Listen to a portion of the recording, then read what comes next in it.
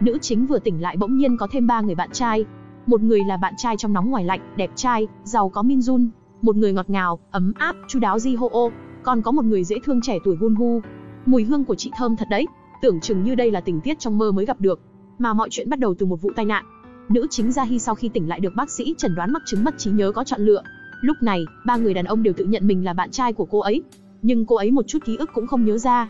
Để tìm ra sự thật, cô ấy chỉ đành mỗi ngày ở quanh ba người đàn ông. Sau khi tan ca sẽ hẹn hò với cậu em nhỏ tuổi Gun Hu. Xem xong phim, cô ấy lại tiếp tục ăn tối cùng Ji Ho Oh. Nhưng lúc này anh chàng Min Jun đột nhiên gọi điện tới, cũng muốn hẹn cô ấy đến cùng một nhà hàng ăn tối. Vì để không bị bại lộ, Gia Hi chỉ đành vội vàng ăn xong bữa tối, kết thúc cuộc hẹn với Ji Ho Oh. Sau đó lại hẹn gặp Min Jun cùng nhau ăn bữa tối. Nhân viên phục vụ nhìn thấy Gia Hi lại hẹn hò cùng với một người đàn ông khác, cảm thấy rất kỳ lạ, nhưng không hề vạch trần cô. Kể từ khi mất trí nhớ, Gia Hi cảm thấy rất khổ não, không biết ai mới là bạn trai thực sự của mình. Thậm chí khi bị ốm, ba người bạn trai đều sẽ luân phiên đến thăm rồi còn đưa đồ ăn tối hợp khẩu vị cho cô ấy. Ăn cái gì cũng là một việc đau đầu. Sandwich, gà hầm sâm, sushi. Ba người bạn trai. Cô ấy tìm đến cô bạn thân để hỏi rõ sự việc, bạn thân đề nghị cô ấy chọn một người trong số đó để hẹn hò, nhưng ba người bạn trai mỗi người một vẻ. Min Jun đưa cô ấy đến những nơi hẹn hò lãng mạn. Ăn tối tại nhà hàng 5 sao cao cấp, nhìn thấy cô ấy đeo giày cao gót, đặc biệt ra ngoài mua một đôi giày vải, còn giúp cô đeo vào chân. Khi ăn cơm cùng bạn trai ấm áp Jiho. Nhìn thấy trên miệng cô ấy dính thức ăn, để tránh ngại ngùng, anh ấy cố ý lấy thức ăn dính lên mép để chọc cho cô ấy cười. Trọng điểm là còn rất biết cách thả thính. Iron Man. Vậy, cái này Cậu bạn trai nhỏ tuổi hun Hu tổ chức cho cô ấy một buổi hẹn hò xem phim đầy lãng mạn, sợ cô ấy bị cảm lạnh còn chu đáo đắp chăn cho cô ấy. Chuyển cái bàn cũng sợ cô ấy bị mệt. Nâng niu nuông chiều cô ấy. Muốn chọn một người trong số họ, thật là làm khó Gia Hi, nhưng càng khó hơn là ba người lại làm cùng một công ty.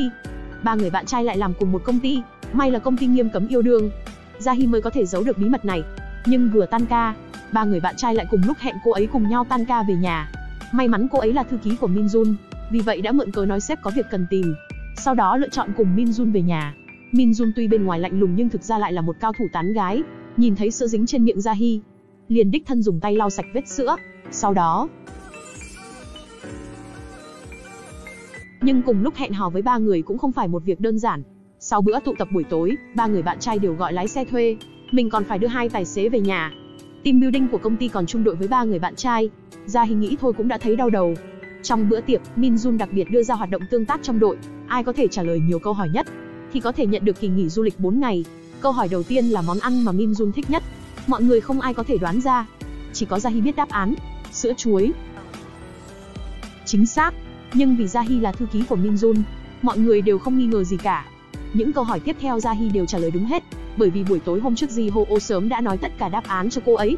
Lúc chơi trò chơi, Won Hu nhìn thấy Gia Hi sắp thua, cũng đã cố ý để mình thua, sau đó nhường cơ hội cho Gia Hi. Cuối cùng Gia Hi giành được cơ hội đi nghỉ, nhưng Min Jun lại đưa ra thêm một cơ hội đi chơi nữa, vì muốn có thể cùng Gia Hi đi chơi. Ba người đàn ông đều nỗ lực muốn giành chiến thắng. Đọ mắt từ sáng đến tối, giống như chim ưng vậy, cuối cùng vẫn là Gunhu giành được chiến thắng. Quả nhiên tuổi trẻ tài cao, cậu ấy xúc động liền ôm chầm lấy Gia Hi, suýt chút nữa đã bại lộ mối quan hệ của bọn họ. Lúc ăn cơm, ba người bạn trai đều ám thị Gia Hi ngồi bên cạnh họ. May là cô bạn thân qua đó ngồi giữa Min Jun và Ji Ho Oh để đỡ ngại ngùng. Trên bàn ăn, mọi người đều rất hứng thú với bạn trai của Gia Hi. Hỏi bạn trai cô ấy là người như thế nào, có lúc rất trưởng thành, đôi lúc lại rất giống một đứa trẻ.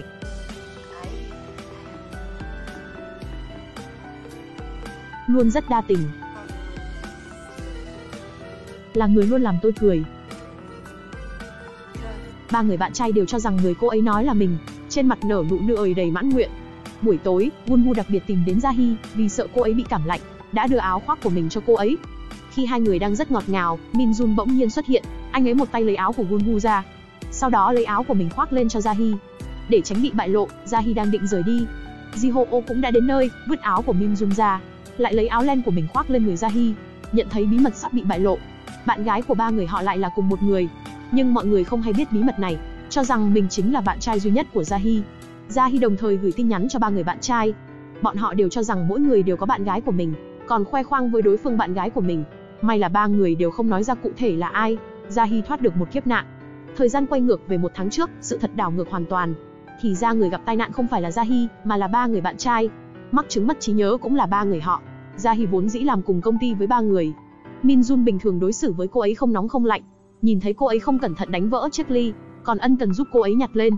Tôi không có bảo em làm mình bị thương. Sau này phải cẩn thận chút nha. Biết chưa? Ji Ho ô vào buổi cô ấy đến phỏng vấn, nhìn thấy cô ấy quá căng thẳng nên có ý tốt giúp cô ấy giải tỏa tâm trạng. Gun Hu mỗi lần cô ấy gặp khó khăn, đều sẽ xuất hiện giúp đỡ, nhưng bọn họ không phải là bạn trai của Gia Hy. Trong buổi tụ tập ra Hi nghe cô bạn nói bắt cá hai tay, vô cùng ngưỡng mộ. Đúng lúc gặp được cơ hội ba người mất trí nhớ. Đối diện với người bạn trai ưu tú như thế này, cô ấy không nhịn được liền lừa cả ba người mình là bạn gái của họ. Chỉ có điều bọn họ đã quên, nhưng sẽ có ngày hồi phục trí nhớ.